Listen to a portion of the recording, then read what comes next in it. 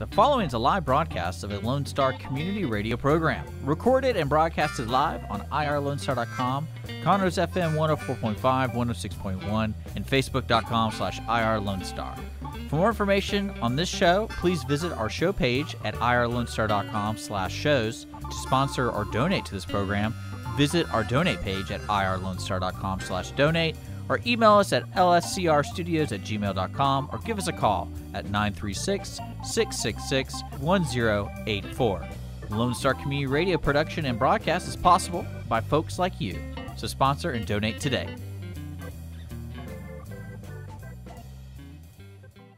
You are listening to Lone Star Community Radio on 104.5 KCZW LP Conroe and 106.1 KZCC LP Conroe and worldwide on irlonestar.com.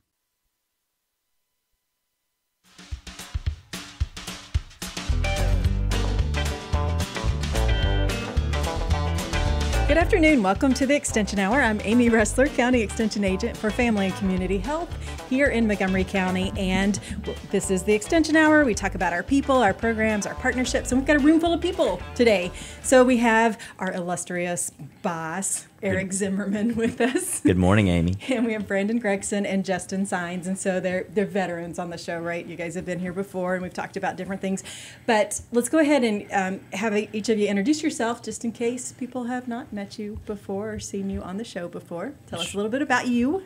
Sure, Amy. My name's Eric Zimmerman. I'm the District Extension Administrator for Southeast Extension District 9, and that comprises 18 counties that uh, that run from the Louisiana border, which is Orange County, all the way uh, as far west as Lee County, which is Giddings, Texas, and Galveston County on the on the coast, all the way up to Bryan College Station and Brazos County. And so my role is to uh, work with the county agents in those 18 counties that serve 6.8 million residents of the state of Texas for uh, support of those programs and, and ensuring that uh, we're meeting the needs of Texans. And in terms of a, a, state, a district within the state, we are the most populous or the second? We are the most populated. Okay. We're the largest staff, of course, when you're the most populated district of the 12 that comprise the 254 counties in Texas. Uh, you're going to have the largest staff. And then we've got a, a uniqueness to where we've got a, a county extension agents that serve every program area that we have dedicated uh, positions for in terms of horticulture, family community health, 4-H, urban youth, marine, horticulture, you name it. And so we've got those with AgriLife, but also we team with our partners with the Cooperative Extension Program with Prairie View A&M University uh, with their extension program as well. Okay, and so our superstars from Montgomery County, we've got Brandon Gregson. Okay. Introduce yourself. uh, as Amy said, Brandon Gregson. I in terms of program area, uh, I'm responsible for agriculture and natural resources for Montgomery County. Um, role being to serve um, adult audiences here in terms of agriculture production, um, and then I also assist with some youth programming and some interdisciplinary programs that we do throughout the office. So, um, in a nutshell, that's me. So. Okay and Justin. Um, my name is Justin Signs. I'm the urban youth agent here in Montgomery County. So, urban youth, we do the non traditional side of 4 H. So, we do a lot of STEM with our robotics program, and we're doing a lot of curriculum enrichment with Hatching in the Classroom. we we extend our 4 H curriculum into our, um, our schools here in Montgomery County. And we also have other awesome people who work at um, the Montgomery County office as well that just aren't here this morning. So we have uh, Michael Potter, who is our horticulture agent. We have uh, Michelle Mahalik, who is our 4 H agent. And we also have Michelle Scaife, who is our BLT or Better Living for Texans agent. So, and then we've got a couple of program assistants. We've got an awesome support staff. So in Montgomery County, we do have um, a great group working in extension. Um, of course, like I said, for for Eric. So Eric is in town because we are working on some legislative visits. Um, sometimes folks don't really understand like where and why well why we exist and, and like kind of where we get our funding. And so one of the we get it's, it's kind of a complicated um, formula, but some of it comes from the federal government, some of it comes from the state government, state legislature, through the university, not through the university, but through the system. And then we also get some funding from the county as well. So we're working on making visits just to help our legislators understand that. But, um, you know, we thought we might share just a little bit with the public also to know, because people have questions about that. Sure.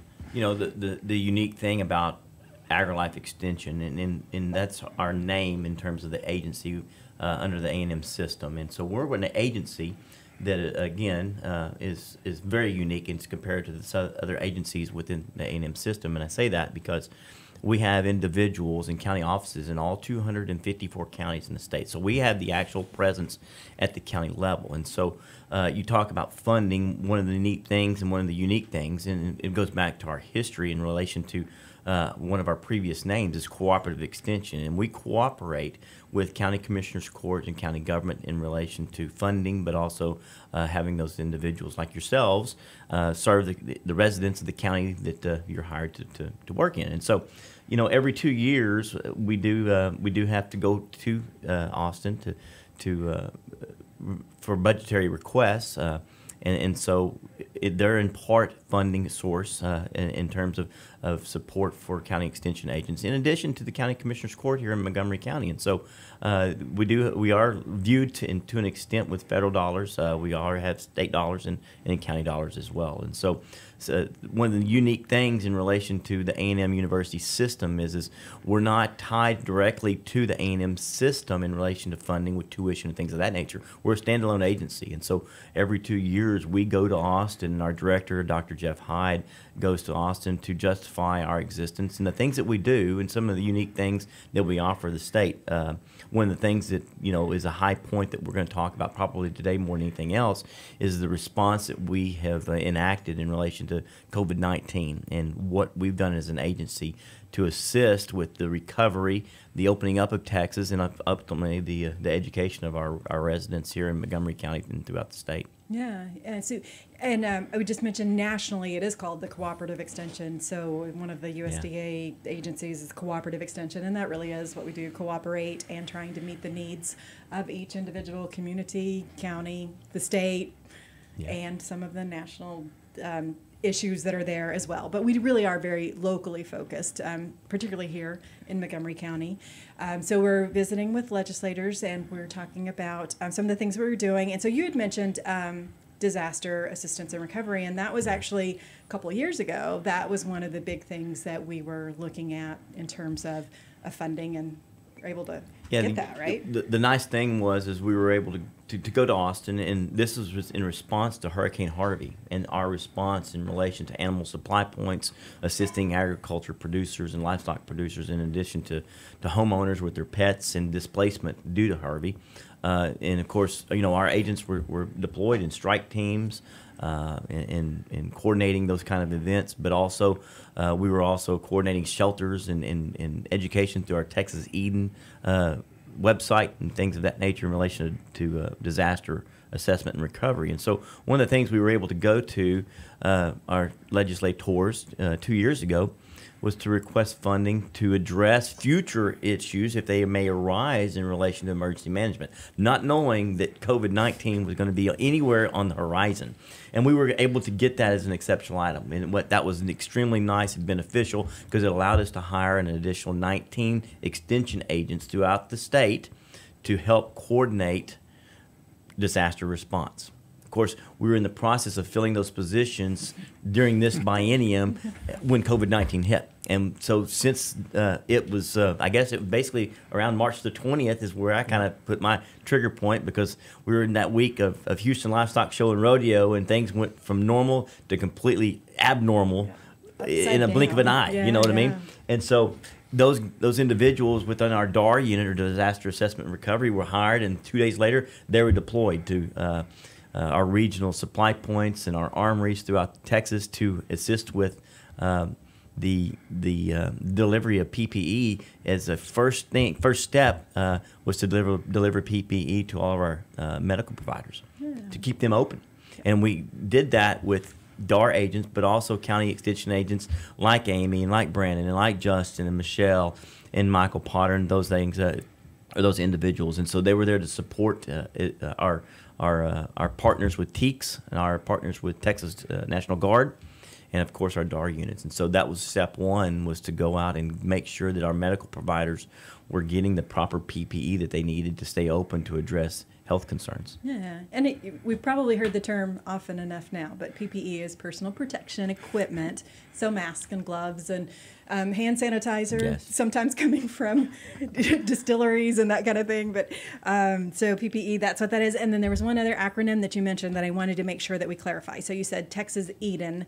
So EDEN is actually a an acronym for Extension Disaster Education Network, Correct. and we have a website. Um, dedicated to that that has a lot of really useful information on that, and that is Texas Help.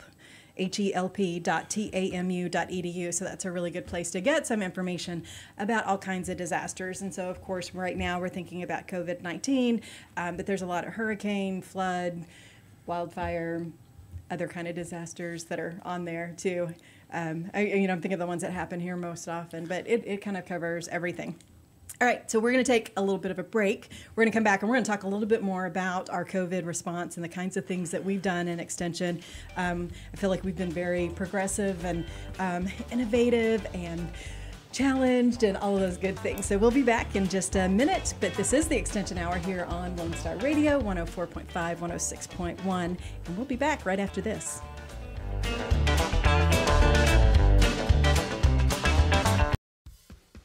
From the beginning, the main purpose of the Cooperative Extension Service has been to change human behavior by teaching people how to apply the results of scientific research. By utilizing a holistic, multi level approach, Extension family and community health programs encourage health and well being for everyone. Addressing values, concerns, and needs with reliable science based information, Extension programs help people lead healthier lives.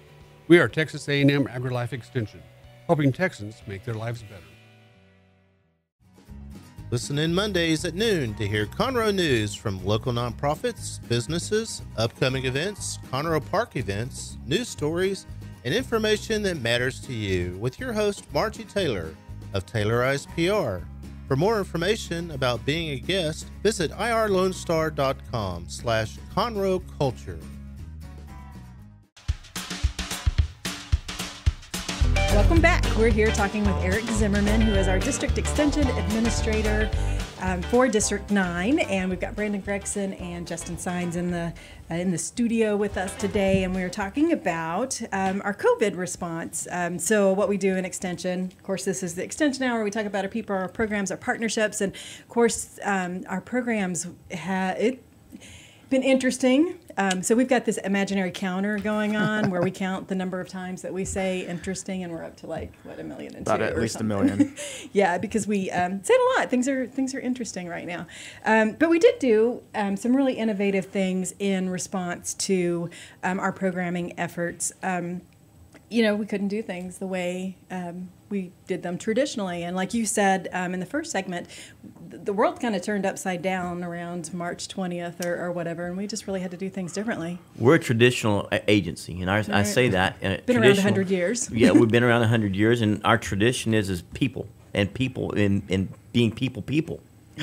Um, it really that's what we are. We are people persons. We enjoy, and our our clients enjoy in person meetings, Mm-hmm.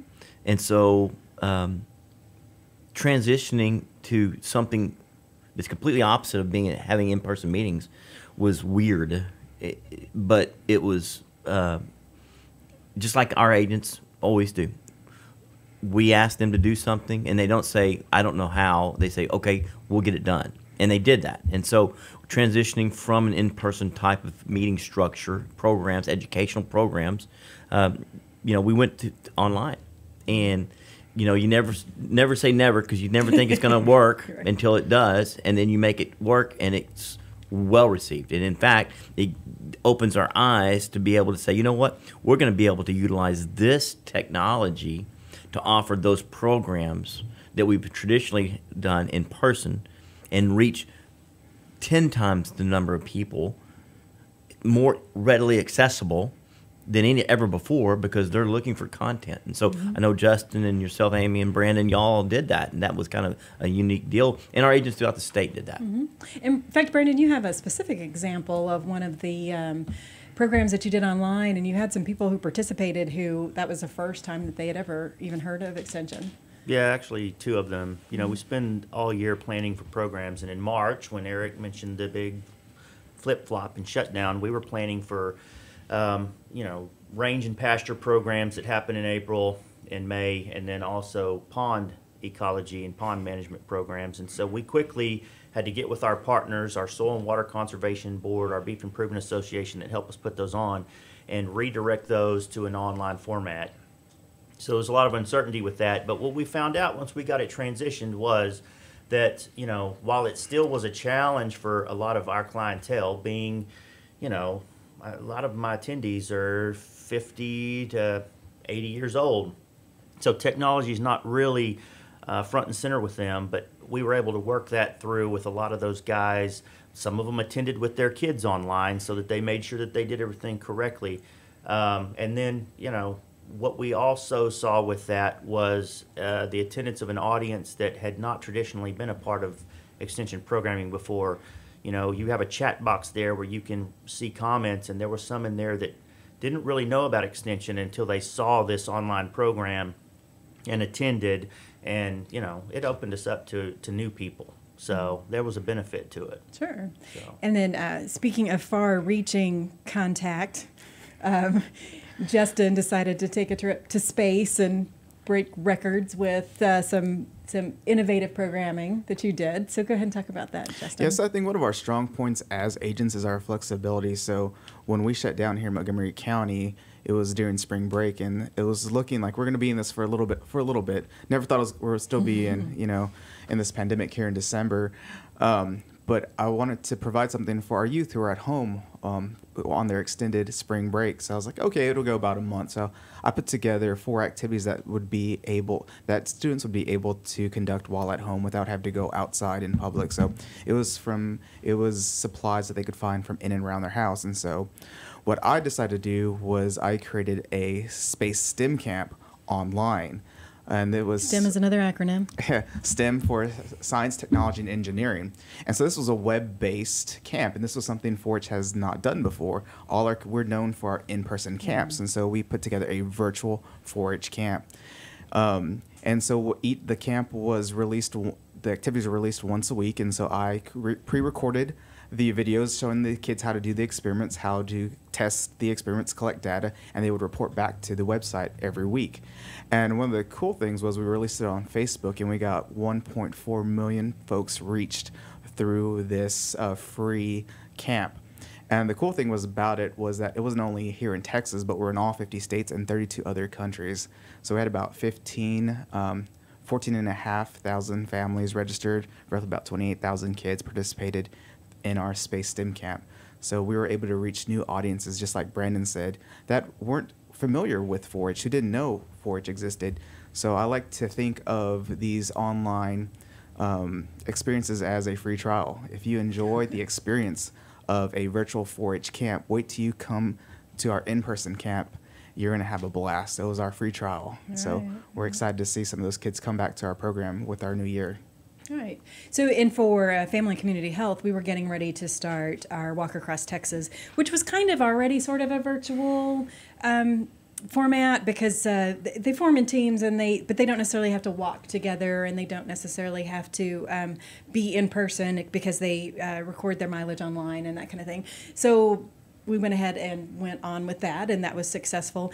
And then, um, kind of a combination of thinking about how the space STEM camp was working and trying to do things uh, virtually. We um, we're also working on our Families Reading Every Day project, which is generally an in-person thing, but. Um, started thinking, well, what if we can do that if there's an online system where families can record the time that they're reading, sort of like they record their walk across Texas miles that they, and then maybe we could have lessons online and that kind of thing. So we were able to move the Fred project um, to create an online system with some awesome web developers at College Station that helped us out with that. Um, but that was another way to provide um, a virtual experience. But the, also the great thing about all of the things that we're talking about is that those have been um, they provide a virtual aspect, but there also still has that in-person option as well. So it's not that these are going to replace the way we do programming. They're an enhancement to the programming that we're doing, and I think moving forward, our programming is going to be um, it's obviously going to be different, um, but we're going to have more options than we ever even thought were possible this time last year, even. Um, so that will be a very exciting thing as well. Eric, um, we're going to talk a little bit more about some of the things that um, the, the timeline and a little bit more about the COVID response more um, broadly. Um, but we're going to take a break and we'll come back in just a few minutes. Um, and speaking of some of the things that we've done in the past too, I would just also add the radio show has been um, a great way for us to do educational outreach because hopefully every show that we um, produce you're able to learn something from it. So we have a whole treasure trove of um, programs because uh, I think we're, we're, coming up on like 100 shows that we've done so far since we've started doing the, the radio shows here on Lone Star Radio. And um, they're, they're all um, showcased on YouTube. So you can go back and listen to any of them. We've got a lot of 4 H 101, we've got some beekeeping and some horse stuff and some cow stuff and uh, and we've got all kinds of I mean there's a variety of shows so it really showcases a lot of all of the things that we do in extension so just to mention that that's on YouTube and on the station's website too. So you can go back and look at that. We're to take a break. We're to come back and we'll talk a little bit more.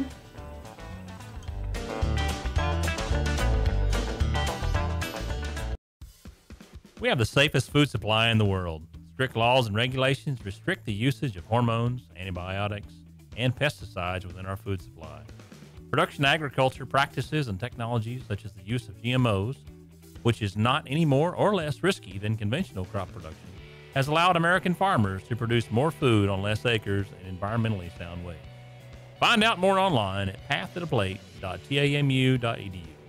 We are Texas A&M AgriLife Extension, helping Texans make lives better. Don't forget to download the Lone Star Community Radio app from your Google Play or Apple Store. Bring Montgomery County's community radio with you anywhere with your smartphone or tablet. If you are in the Conroe area, tune in on FM. That's Conroe's FM 104.5, 106.1. If you are on the computer, bookmark irlonestar.com as your internet radio station. A Lone Star Community Radio broadcasting 24 7 from the heart of downtown Conroe, Texas.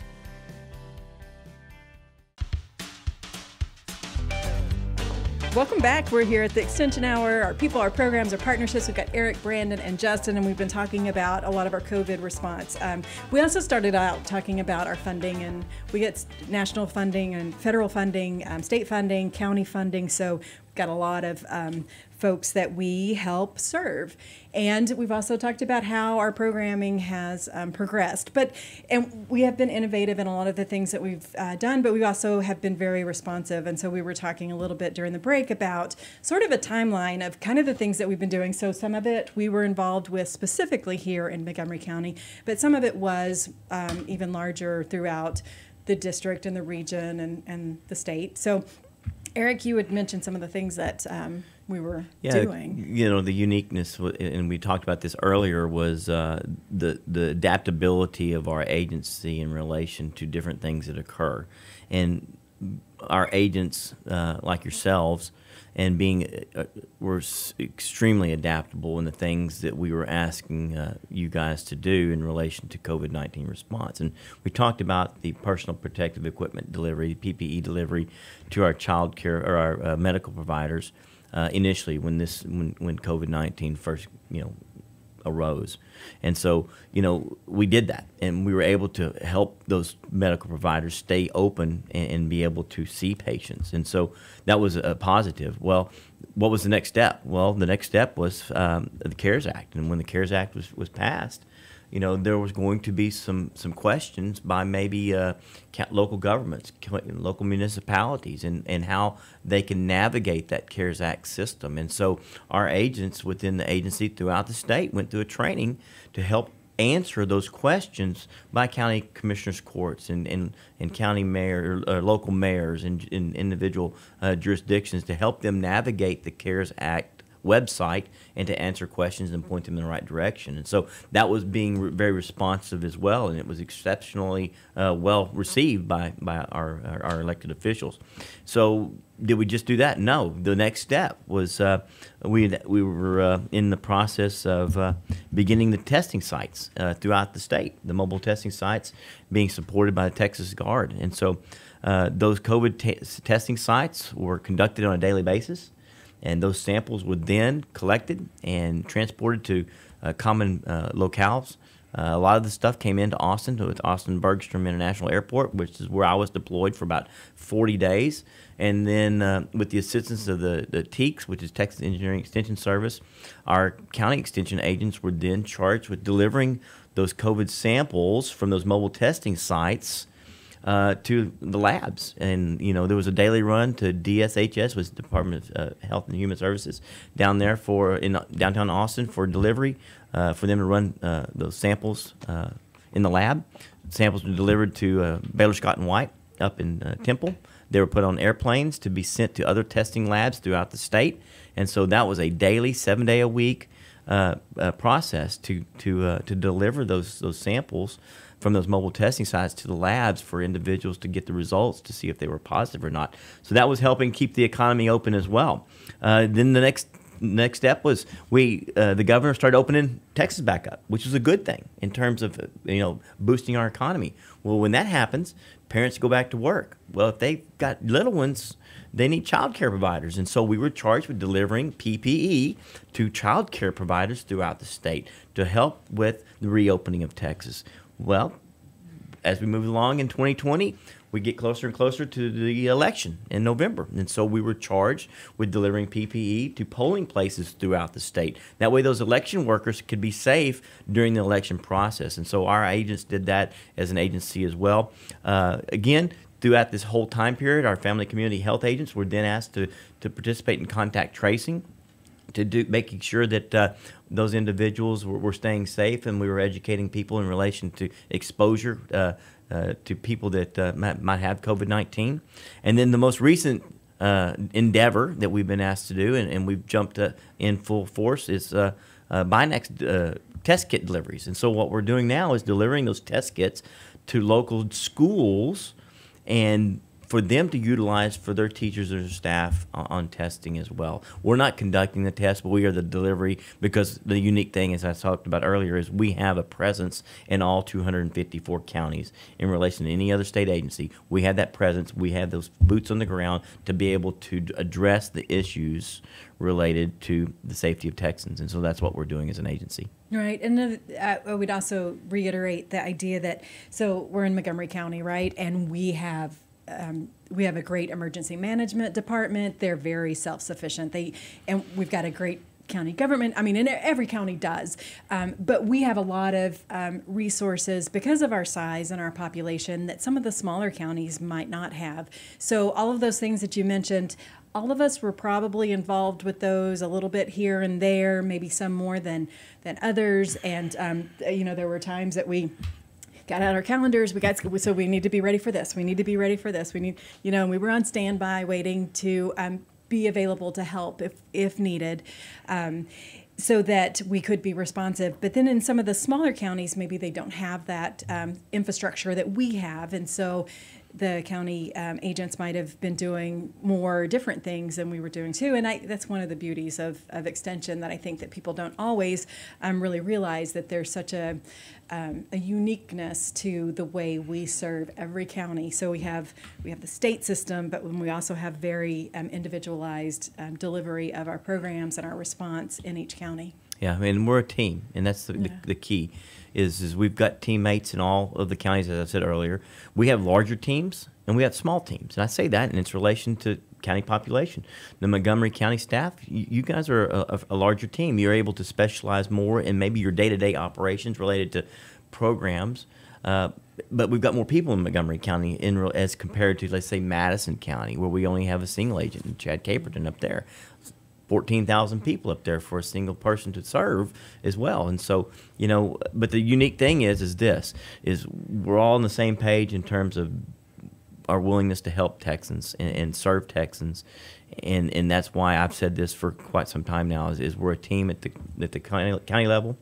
We're a team at the district level, which I talked about earlier. We're a team at the regional level. We share a, a sister district that we have a lot of professional development type of events uh, with the, the, coastal Bend region, mm-hmm. and then we're we're a team at the state level, and so that's uh, that's the best way to describe our agency, and that's what we, we we really like about working for our agency. Right. And as I mentioned, so we serve Montgomery County, but there's also been a lot of team activities that we've ended up doing, um, you know, working with our, our coworkers in other um, counties so that we've been able to do multi county um, events too. So, you guys want to talk about some of those that you've um, a lot of these doing? online programs lend themselves to just opening up cross county lines. You know, you, you don't have to travel very far to jump online and attend a program um, and get the same information that you would have face to face at a field day or or a clinic. So that's what we did when the programs that I talked about that we did back in April for ponds and pastures.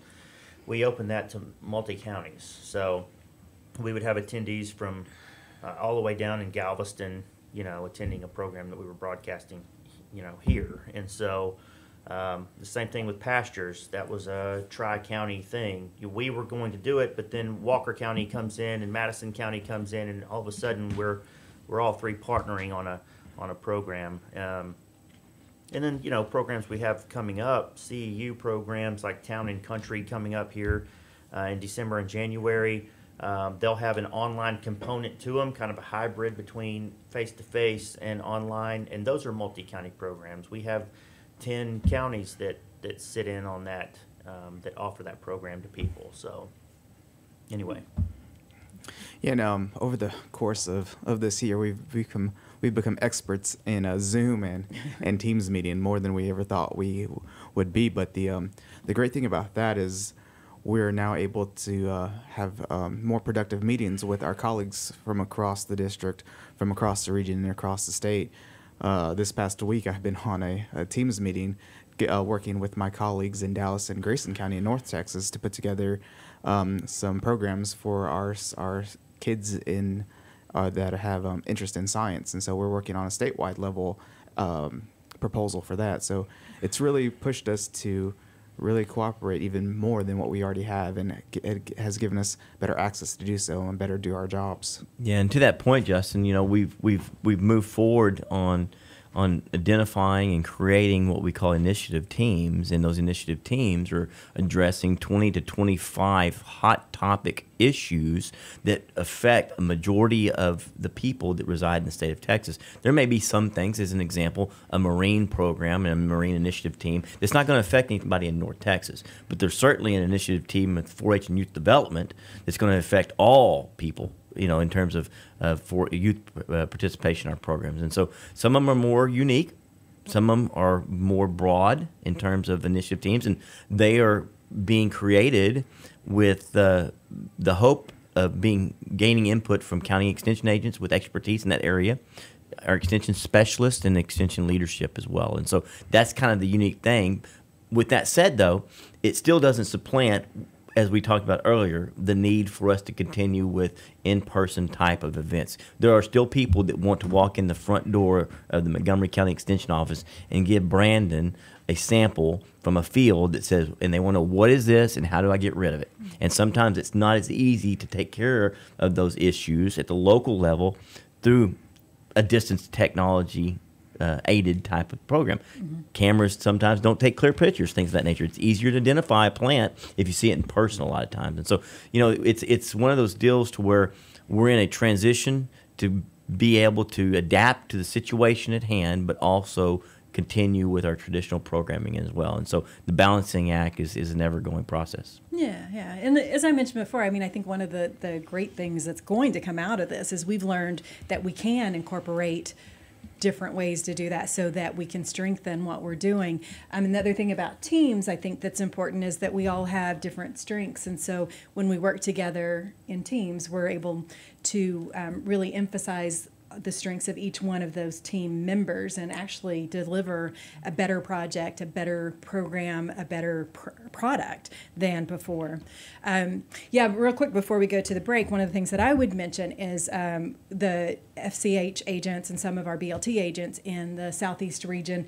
We've put together um, what we call we're calling a December to Remember, which is um, an interactive calendar. So um, that's available to email, and we'll put it on um, social media and that kind of thing. But each day we'll have a little video that has something educational about it um, for uh, for families, for people that are that are interested. We each day has a theme. So we um, I did one for Thankful Thursday, and there's Wise Up Wednesdays, and there's um, Money Monday. So there's a little bit of everything um, in that, but that's one of the things that we've done um, together, and it's really it's really fun to see um, all of the videos that the agents have done for that. So that is available.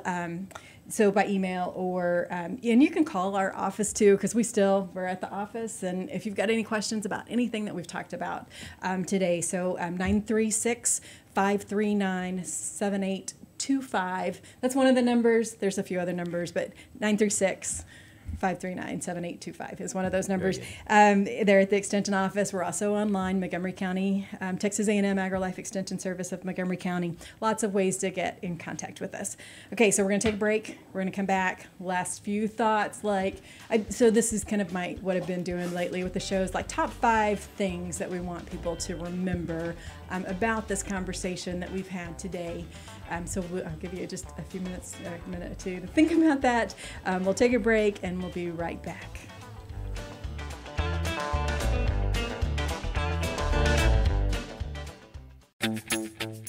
What can the Better Living for Texans program do for you?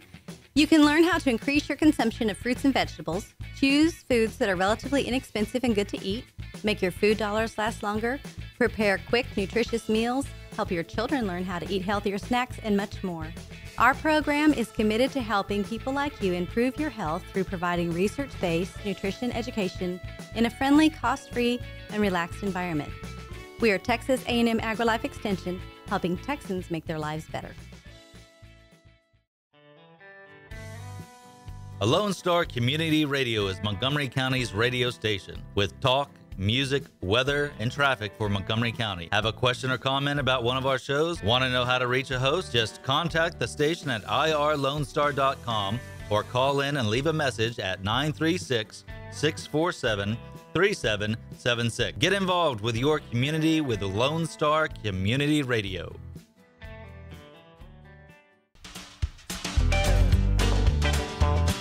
Welcome back. This is the Extension Hour, People, Programs, Partnerships. We've been talking about um, lots of things so interesting, interesting times that we are in.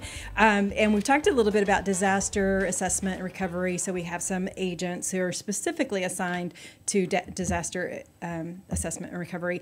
Unfortunately, we haven't seen them in our offices just a whole lot because they've been out like really busy doing lots of things. So, um, but one other thing that I would mention about disaster um, relief and the some of the funding that came through Rebuild Texas um, helped fund some mental health first aid. So we haven't touched on that at all, but um, you know, family and community health. That's mental health is one of those important things about being a healthy person and um, so, mental health first aid, there is a training that's available to help people um, help other people who are in crisis. So, um, that we uh, our coworker Mike McBride actually is a certified trainer, and so he can offer those mental health first aid classes.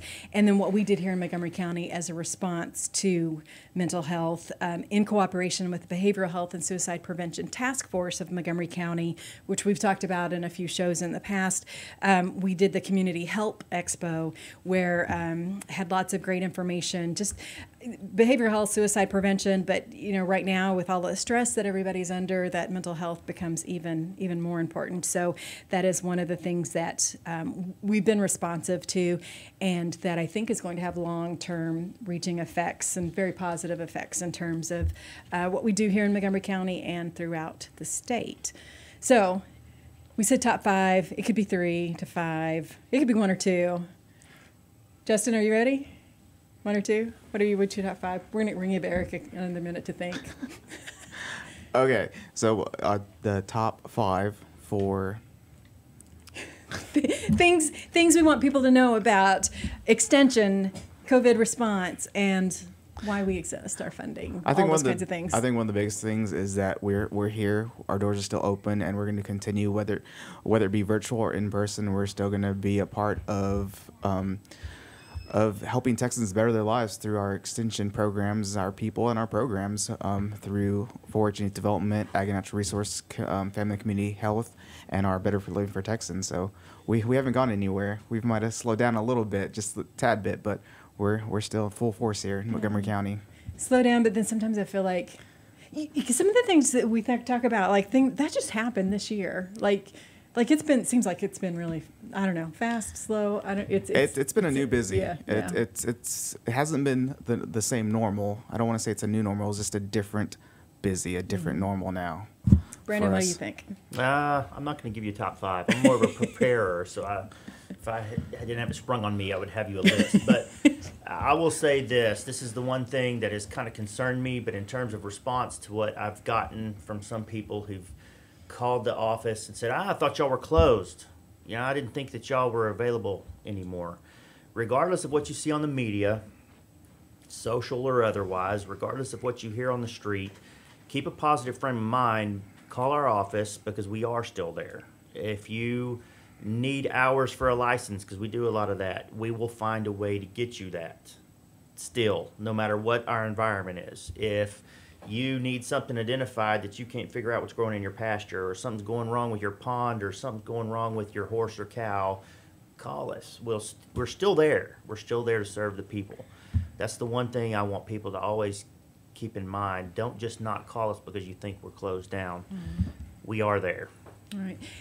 Um, I know there's been lots of questions too about livestock shows, and we're coming into livestock show season and that kind of thing. So we are there. Call us, ask questions. Yep. Because it seems like that information is always being. We work a lot with our local fair board, and we're validating livestock tonight. So we also work a lot with the major livestock shows, and we may not have all the information that you need, but uh, we definitely hear enough to give you a perspective of where we're at right now in terms of what that potential is for the spring.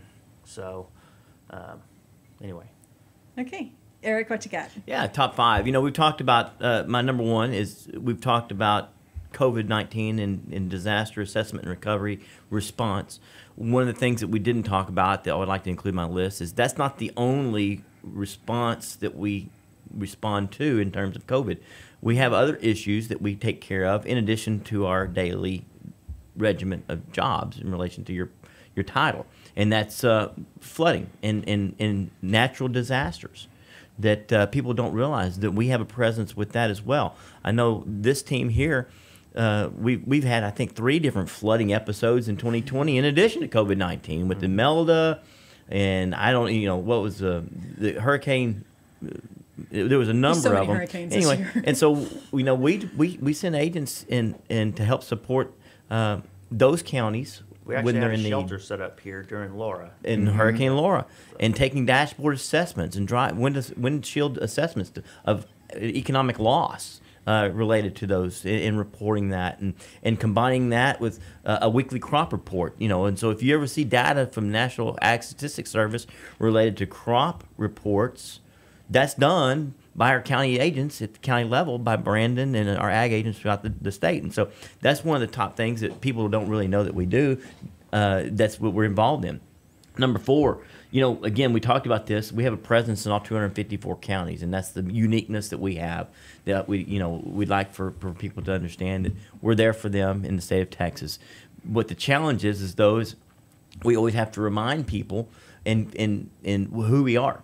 And especially as we get into this area of Texas where we're densely populate, populated, uh, the challenge is to make sure that people understand that we are a resource for them. So we've got to continually to promote um, our program and, and, and, and recruit new volunteers and new audiences. You know, if we get stuck in being stagnant, we're only going to have a certain uh, impact on a certain amount of people.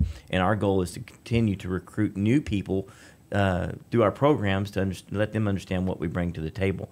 One of the u- number three, I guess, in top five, one of the uniquenesses as an agency for us is we're not only uh, educators of adults for uh, health, nutrition, agriculture, natural resources, horticulture, water, education, those kind of things, but we're also educators for youth. And that makes us even more unique as compared to some of the other youth development agencies and organizations is we have an adult educational audience as well. And so we truly do serve all Texans from infants all the way to the elderly in terms of education because our agents are educators first. They're facilitators, they're collaborators, but they're educators. They're professionally trained at the university level with their degrees between a bachelor's or masters and some even PhDs.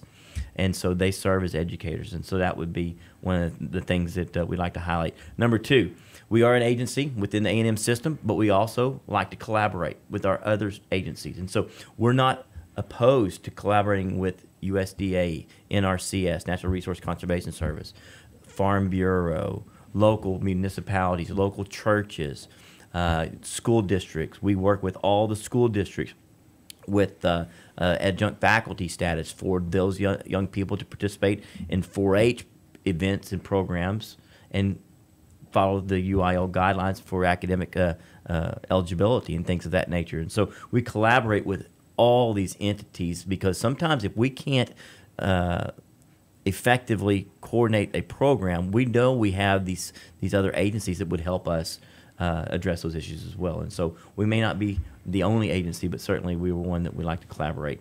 And, and again, I guess number five is, is, is one of the things that uh, Dr. Hyde has been charged to do once he began his role as our director. And, and we've had a lot of input, not only from our personnel within the agency, but for outside uh, external stakeholders as well, is to develop a strategic plan. And so uh, we're in the process of really narrowing down a strategic plan to identify specifically the things that we do. And it would help us as an agency be more identifiable to the general public as to what we offer to the table for the residents of Texans in terms of education. So those are my top five that maybe uh, you know people may not know about, but certainly they can take away from our conversation today.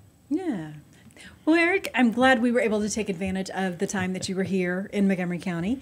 Um, it's been great having you, and Brandon and Justin, thanks so much for um, joining us as well.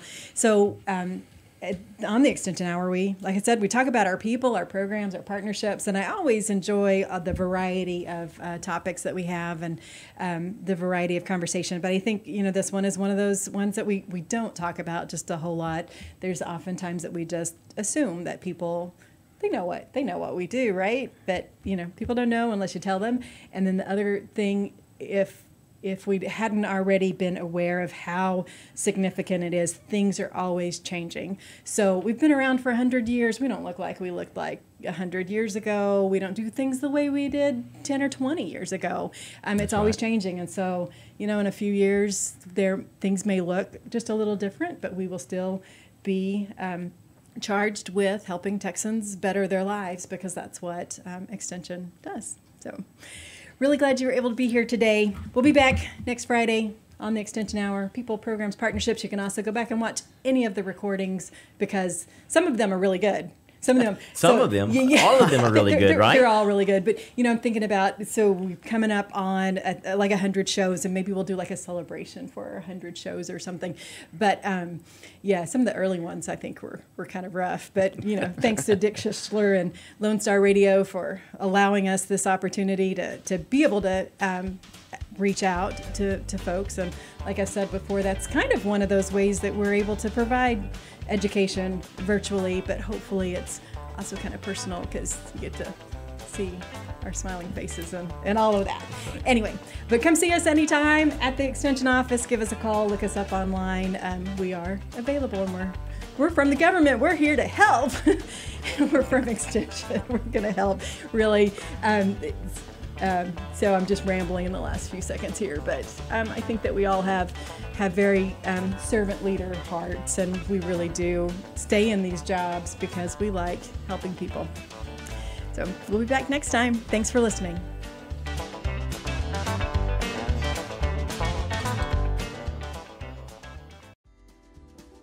Today's show was recorded and broadcasted live on irlonestar.com, Conroe's FM 104.5, 106.1, and all rights and ownership are reserved to Lone Star Community Radio.